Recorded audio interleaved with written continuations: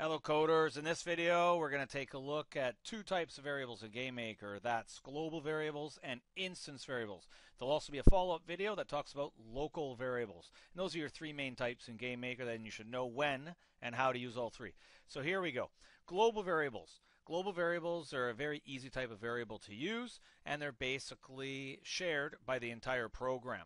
And so you can see here I have a level which is 1, and points 0. These are global variables, and here's how I made them. I have an object called global, and in its create event, I have global.point0, global.level1. Now, yes, you have to use this word global, and no, you do not have to make an object called oGlobal.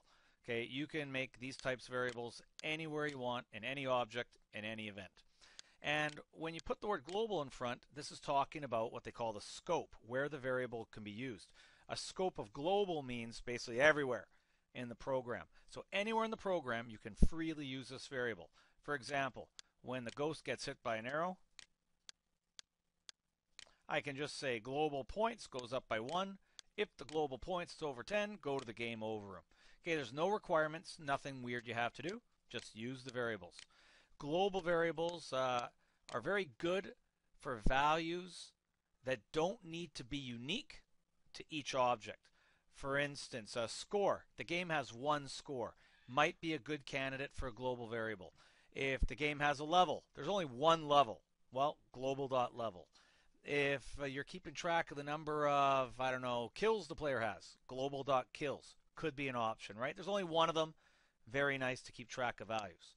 Um, when you go to draw them out, here's a draw object I've made here. I'm going a little slow here. There's the draw object, draw. Again, nothing special. You can see here, when I go to draw it out, I can just draw out the string of global level and global points, and it all works. As opposed to the next type of variable I'm going to show you, which are instance variables, you have to sort of go inside the object to access them. Okay, two different ways, but here's I have to use a with O player to access the player's hit points or the player's ammo right before I draw it. So there's a little bit of an extra step. Still easy to use, but not as direct and easy. Okay, you'll just see in my program here, just show it working. You'll see my points go up here. I get some arrows on the ghosts. And you'll see my points and level work. Now what you're also going to notice is this here. You're going to notice that the ghost has its hit points of 2, and this ghost now has a hit points of 1. This is an example of when a global variable would not be good. You can't have a variable, let's say you have 100 ghosts. You're not going to type out 100 variables. Maybe you have something making new ghosts. Well, it's hard to make new variables as the ghosts are being made. You don't want to do that. There's a much easier way.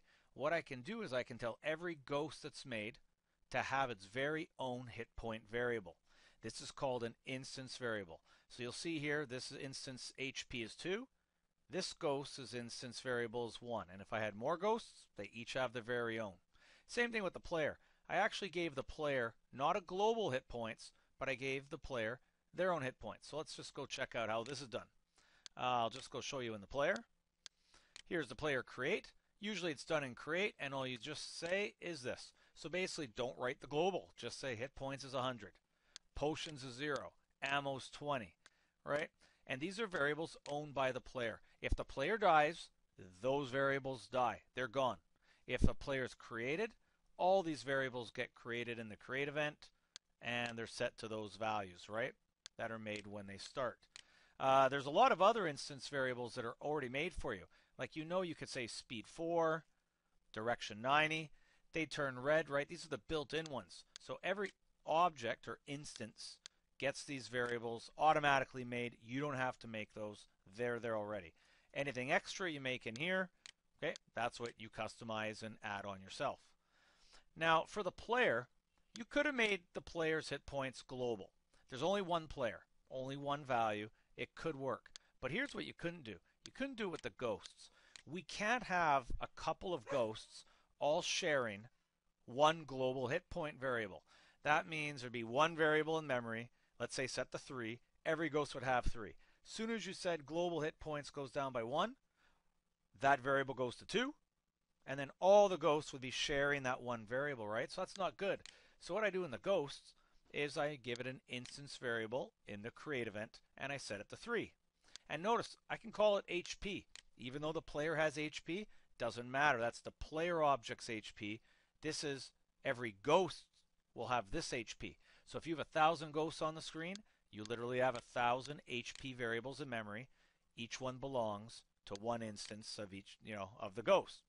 So you'll see here when I get hit by an arrow, a particular ghost has just been hit by an arrow. That ghost will run the I got hit by an arrow code, which is here. It's global points, sorry, the global points goes up, right? And just a little bit lower down here, and HP goes down by 1.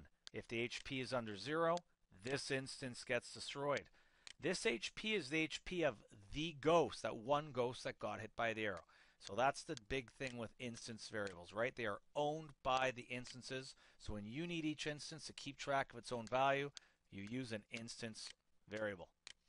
Now, what's the downside of instance variables? Well, the downside of instance variables is once the object dies or is destroyed, the variables are gone, right? So that's one possibly a downside. The other downside is it's a little harder to access the variables. You'll see here in the draw object, the draw event, if I do want to know what the variable of the player is, and I won't take the global ones, I'll take, let's say, the player's HP variable, you'll see what I had to do here. I just can't say draw text string HP. My draw object that I'm inside of, it doesn't have an HP variable. I'm going to get an error. So what I have to do is I have to say, use the player of, hey player, go inside the player, and now the player's running this code. So that's one option. Another option was to do this, and this isn't the best option. It can lead to a few little errors, but I could have said something like this, string, and to access the variable inside the object, I could have said oplayer.hp. Okay, and so this goes inside the player object and accesses the hit points. Now, that works pretty well for that. But just be warned that if you try to do this with Ghost HP, uh, part of the problem is there's more than one Ghost, right? If you try to do this, you don't get an error. Ghost objects do have an HP, but pretend right now you had uh, five ghosts on the screen. Which ghost HP is it going to access, right? Well, GameMaker keeps a little list of the ghosts, and whatever the first ghost in Game Maker's list is, that's going to be the HP you end up seeing when this is drawn out. So this is sort of frowned upon a bit, like don't do this or this. It's better to use the with, or if you can write the code inside the object that owns the instance variable, that's always a good option too. Okay, but just to let you know that those are options that will work for you, right?